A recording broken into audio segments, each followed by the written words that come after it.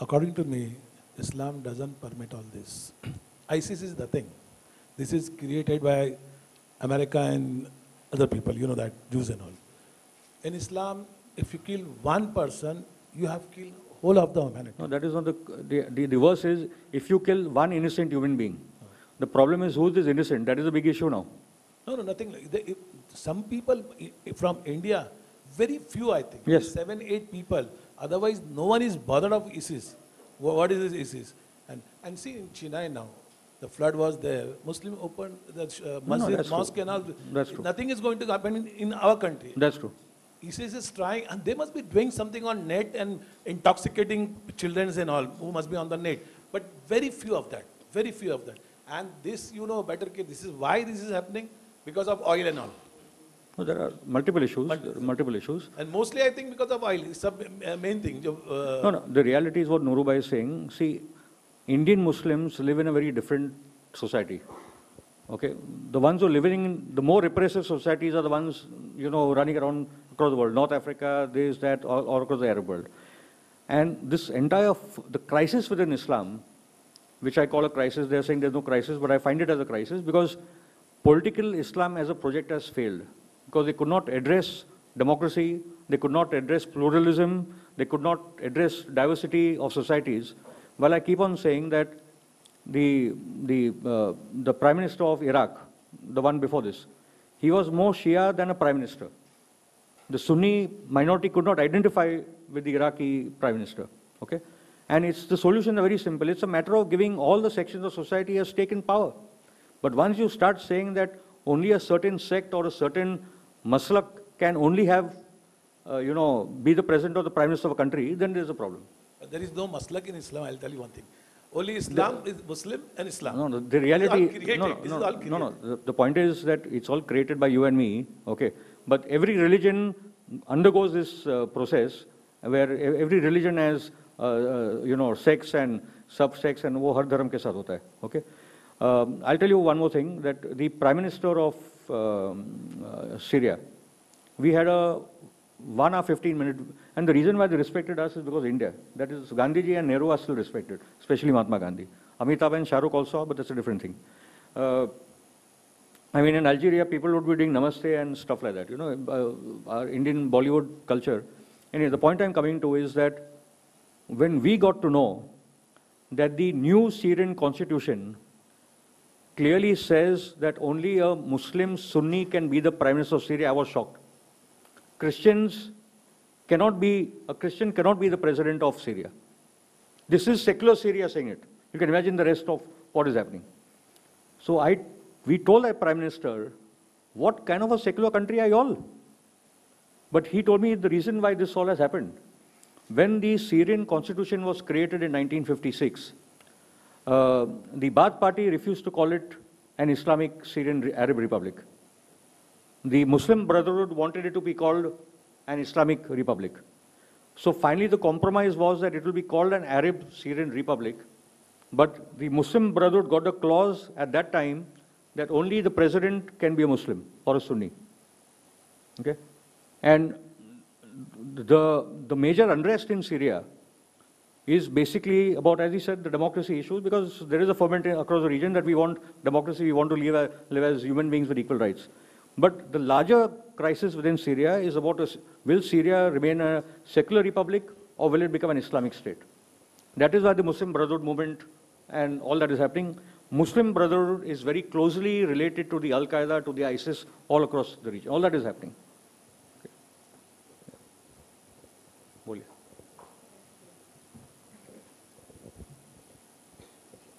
Sir, uh, you spoken about uh, political Islam.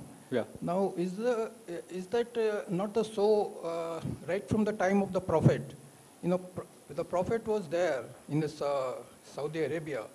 The politics and the religion is the one and the same.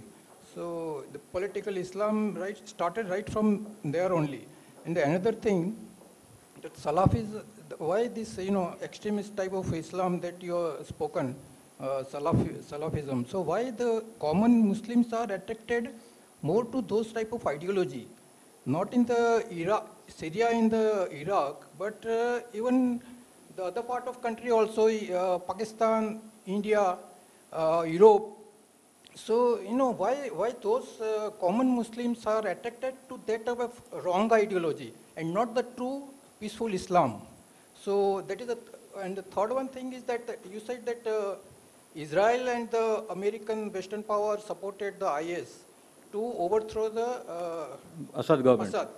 But when they when they invaded the Iraq, when they came to the Iraq and started uh, overthrowing the Iraqi Saddam. regime, so at that time they would have stopped all the fundings and the, might have started bombing to their uh, oil supply to the Europe and the Israel, and they would have died over there only because they continued, uh, I think, even uh, in spite of their I'm they are confused with your last question. No, no, Bombing in 2003 or now? What are you talking about? No, no, when they, from the, from the Syria, when the IS came to the Iraq also, and No, uh, first they started came to Iraq. the uh, Iraqi regime.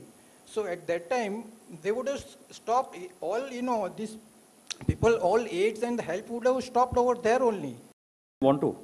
That is the point. See, the, the agenda in Iraq is to split it into three parts a Shia Iraq, a Sunni Iraq, and the Kurdish Iraq. The Kurds are practically gone.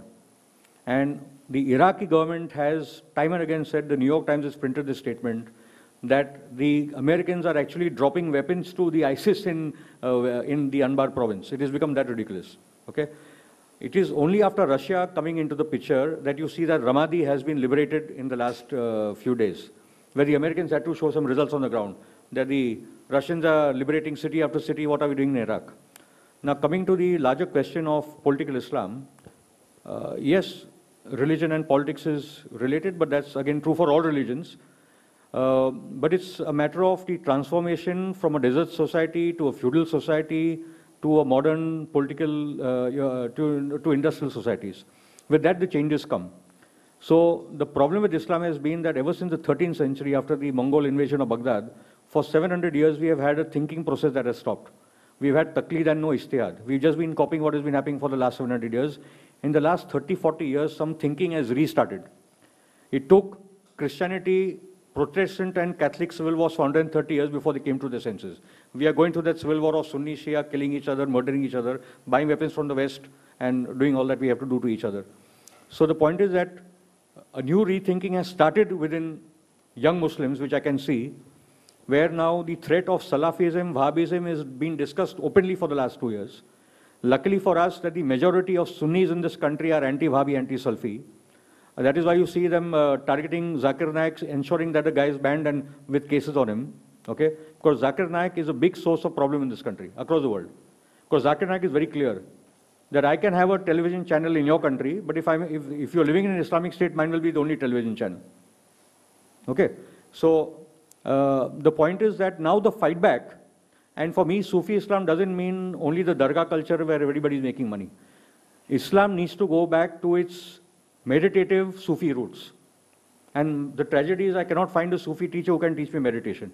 But we are working on setting up Sufi centers where people of all religions come and we are discussing with our Turkish friends uh, who have brought Rumi to our country again uh, to work on. Because if we are critiquing Salafi and Wahhabi Islam, we also need to provide answers. A critique itself will not do. Okay? And uh, I'd like to quote two things from Rumi. One is Rumi says, because you know we are about truth and right and wrong and mera hi aakhri satya hai. You know what Rumi says? When you are done with debating what is right and wrong, come to the fields, we'll discuss further. It's a revolutionary statement by Rumi. Come to the field, we will discuss further. Once you're dying, right, wrong, this, that, aakhri, aakhri hamari, you know, satya vatya hamara hai. He says, after you've done all that, we will discuss what we need to do. We'll think ahead. The other thing that Rumi says, that silence is the language of God.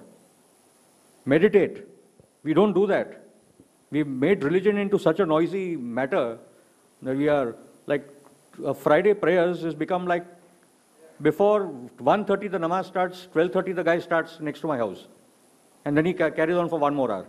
आप अजान करो यार दो दो घंटा आपको why you blaring away from the speaker. Who are you making these things for? One question yes. about the environment and the uh, crisis in uh, Syria. Yeah. That the uh, dissent in Syria started in 2006. In 2000, yeah, no, actually the demonstrations and all have started in 2010, if I'm not. Uh, 2011, actually. Yeah, till 2011. Yeah. But that is uh, when the agricultural crisis in uh, 2006. Uh, you know, in uh, Syria started. So what what are the roots of those? That is also important. problem? It's a very important question. In, in 2006, you had a drought famine situation. True, true. In 2006. And very few people actually discuss this aspect of it. But the government could not manage the situation. And they were, they were very lax in the way they addressed. So a lot of the peasantry who was dispossessed from the land or also went into this, uh, into this battle. That is also the reality. But I'll tell you one more thing. In the refugee camps in 2012 and 13, I have met families, mothers, daughters, wives of the men who were fighting against the Syrian army, but the families have been taken care of by the Syrian. And that is why they've had a series, there have been two important moments in Syria. One is the reconciliation moment. The reach out to the Syrians have gone to the other side and bring them back. And they have done some tremendous work in war zones. The other thing is that an amnesty for Syrians by the Syrian government, that we are willing to discuss and bring back our Syrian people into mainstream society, even if they lifted weapons against us, but we cannot do this with guys who come from outside. So, uh, yes, 2006, that, that was important. One more thing about the water, Huh. the distribution of water. That is the, the, the rivers flowing from uh, Turkey, uh, Turkey to uh, Iraq and Syria. Iraq and Syria. And there has been a redistribution of water after the dam was built in uh, Turkey. Turkey and all. And the flow of water inside Syria was restricted severely Constraint. after that, uh, constrained severely Yes, because of the construction of this dam. yes. Now, how far ha- has it impacted the fam- situation of famine and uh, all that, agricultural production? No, it is, it has been a big problem. It has been a big problem, yes. Uh, Mr. Yeah, Mr. Kulkarni, this actually question is addressed to you, and I'm going to discuss an issue closer to home, actually. You know, we've been at loggerheads with our neighbors regarding one issue alone, which is Kashmir.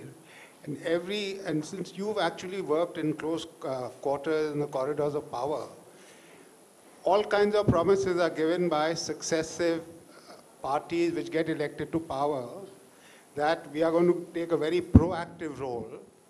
What is the definition of a proactive role? Even I think they are confused, they don't know what it is.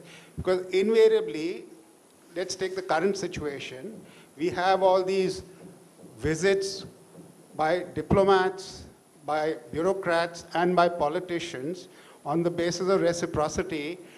Our people go there, their people come here, while killing is still going on on, on the border areas. Innocents are getting killed, soldiers are getting killed, and nothing productive is actually happening. All we are being given are assurances after assurances and assurances. And on top of that, particularly when we are fully aware, like as in the US, even the American presidents are hands in the, in the arms of what is called the military industrial complex. So is the same thing in Pakistan. Nawaz Sharif may have very good intentions, but he's basically a puppet in the hands of the military industrial complex in Pakistan, which is then superseded by the military industrial complex, which is the Pentagon. So are we actually just not fooling ourselves and in the process fooling 1.3 billion Indians that we are working towards a solution?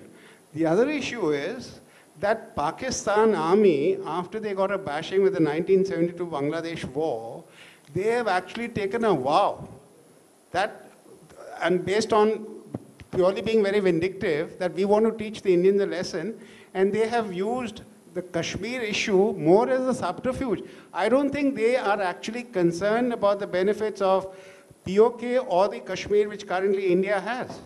So, I mean, you know, believe me, defies logic to me. We are constantly fed, and then the corporate media, they go out of whammy and then they blow it out of shape. And we are all supposed to digest all, which I personally feel, and I'm being a little crass about this. There's a, a whole lot of bullshit which we are being lapped up with. Fortunately, now, the, besides the mainstream media, there is an independent media.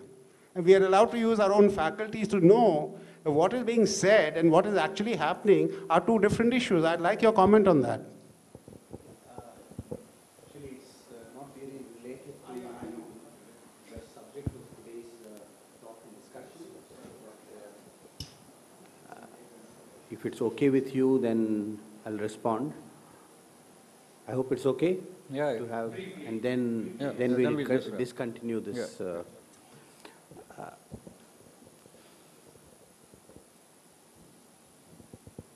You know, whereas I share your concern and your sentiments, I do not share your conclusion that we are fooling ourselves by continuing with this dialogue. hmm? Because dialogue is the only way, dialogue that is sincere on both sides.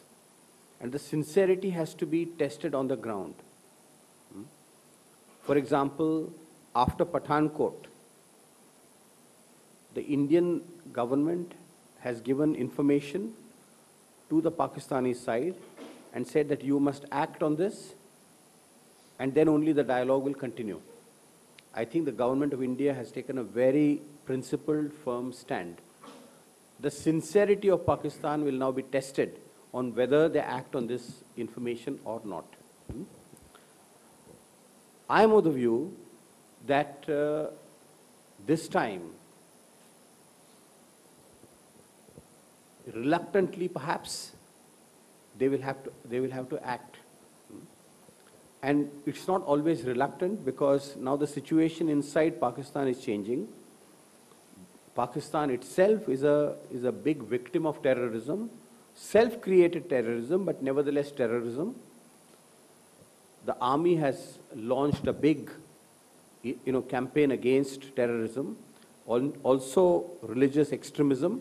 They are also worried about this uh, religious extremism coming from, from the West.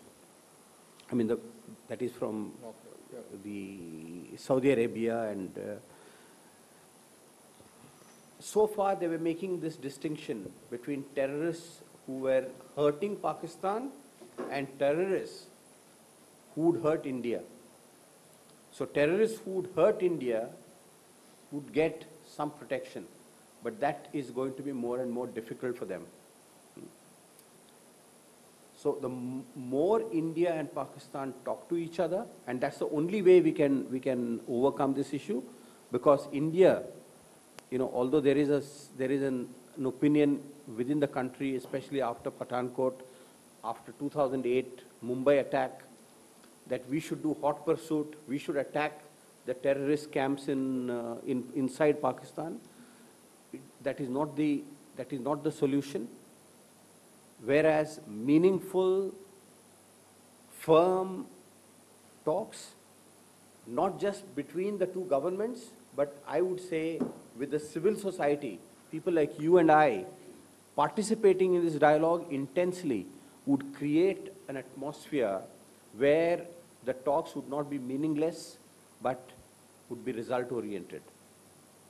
And there are some issues which are completely, you know, achievable, some objectives. You mentioned killings on the, on the, on the border. Our, our Jawans are getting killed, their Jawans are getting killed, their civilians are getting killed, our civilians are getting killed.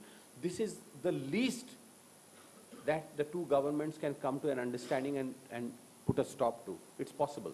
Kashmir is a more complex issue, but within our own country, you know, it's not enough for India and Pakistan to Kashmir. The time has come for Indians themselves within India, the political parties, civil society organization to discuss Kashmir. क्योंकि हम कश्मीर के मसले को हम आखिर you know आखिरकार कैसे solve करने वाले हैं हम्म? An- हम ये कहेंगे जैसे राम माधव जी ने कहा कि the only issue is for POK to come back to India. वो तो होने वाला नहीं है। If Pakistani say the only issue is for Indian Indian held Kashmir इधर टू बिकम आज़ाद और to go back to Pakistan वो भी होने वाला नहीं है। So my point is that we all if we are truly committed to peace committed to normalization of relations then with open minds but with sincerity we must engage in a dialogue Uh, friends, I- बिल्कुल सही बात है जी। And we can, sorry. ये this is also best but let me say that that is also best ये जो हुआ है बहुत अच्छा बहुत अच्छा हुआ। जो मोदी जी मोदी जी लाहौर गए ऐसा पहले कभी नहीं हुआ था। हाँ? तो वो तो हमारे पड़ोसी है। हाँ? तो पड़ोसी के पास जाना पड़ेगा उनके सुख दुख में शरीक होना पड़ेगा। जन्मदिन में तो एनीवे फ्रेंड्स या Uh, Sir, I just wanted a quick comment from you. Now, uh, we also know that uh, this whole thing has been about Iran and Saudi Arabia trying to exert their uh, influence into the war through uh, the sectarian Shia-Sunni conflict. And now, because of the recent standoff between the two of them, because of the Saudi Arabia execution, how do you think this plays out into the larger picture? Because there were uh, reports or there were these ideas that we were moving towards multilateral peace talks, which will involve Russia, Iran, Saudi, essentially all the players You're into right, this. you're right. So how do you think that this incident between Iran and Saudi Arabia plays into this whole episode? I hope that has no impact on India. But anyway, the point being that the Sheikh Nimir murder, assassination, uh, whatever you want to call it, but the timing is important. It is happening at the time when the Western sanctions on Iran are about to end. So that is why this entire ratcheting up of the Sunni Shia tension within the region and across the world. The other is the ongoing talks on Yemen and on Syria. Uh, the talks on both are uh, due in the end of January, especially the Syrian talks. So it is clear that the Saudis do not want a political settlement to the question. Um, that is not to say that Iran doesn't have its own agenda. Iran definitely has its agenda. But as I said, that the Iranians have been far more open in having a dialogue with the Sunnis. Imam Khamenei and even Imam Khomeini came out with a clear uh, edict saying that the first three caliphs and the Sahabas should not be spoken out against. That the Tabara, that the, uh, you know, uh, the kind of vindictive, uh, vindictiveness that Shias hold for the, uh, for the first three caliphs should not be spoken out publicly and all that should stop. And the Iranians have tried for a dialogue between the Sunni and the Shia world. A lot of my, uh, you know, Muslim Brotherhood friends whom I was in contact with earlier would say that at least uh, in Iran there is a space for dialogue between Sunnis and Shias. We'll never see it happening in uh, Qatar or in Saudi. That is one point. So, but there are four powers in the region fighting it out. The Saudis are fighting it out for their own power. The Iranians are doing it. The Turks are doing it. The Israelis are doing it. I'm talking of the of the regional. All four have their own agendas in, in this context. And I think in terms of India, what our larger agenda should be, and um, uh, has played an important role in preventing a Sunni Shia conflagration. Mumra, he's played a very important role there. He addressed a press conference a few days ago as well. That, and I say that this is not only the responsibility of the, of the Sunni and Shia community, but I think our secular liberal elements should get involved in this problem and, uh, and ensure that uh, if Shias are protesting, and I've told Shia that you need not protest on your own, you have to take all communities along with you all because everybody is worried about what is happening. But Shias, again, being the minority within the minority, are kind of more hung up on their uh, little identity, uh, which is normally the case with uh, minorities within minorities. Okay? So I think the impact within India, be it the ISIS factor, be it the Saudi factor, be it the Iran factor, we need to safeguard India from all these tensions that are playing around us uh, and be Indians in terms of how we respond to this entire question.